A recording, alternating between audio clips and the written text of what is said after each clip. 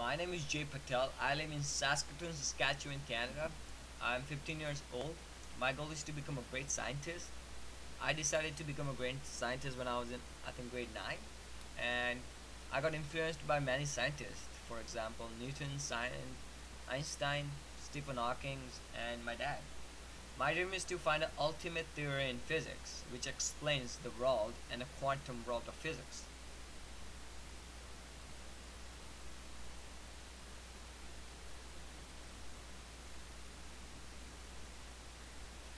We see the ball curve and wonder why do spinning ball curve? First, we should know what spinning ball is.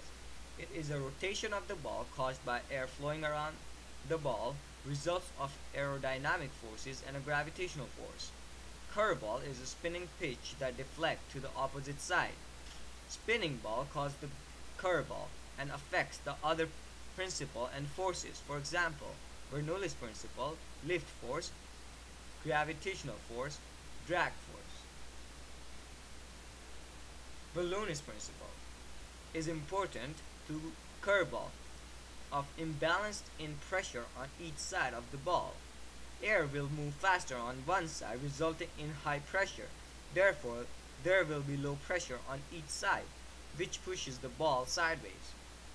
The drag force is acting on a curveball. It is the opposite direction to the crust. Drags depend on the surface of the ball.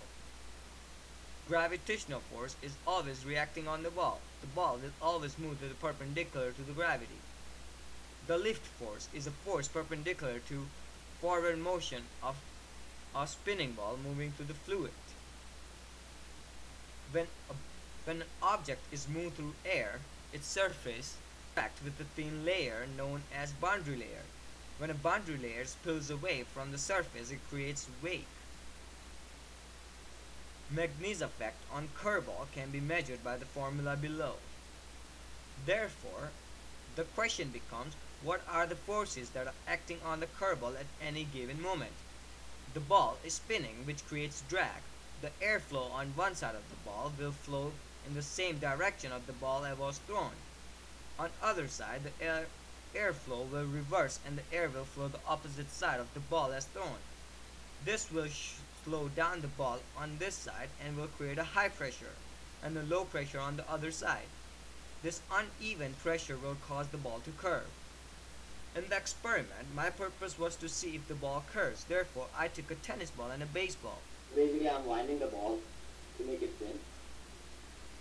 And I'm doing this for 50, 50 times.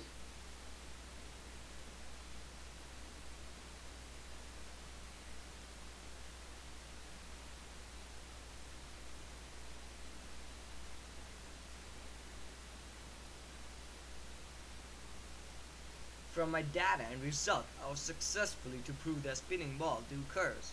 We can also calculate the trajectory of a curving ball. References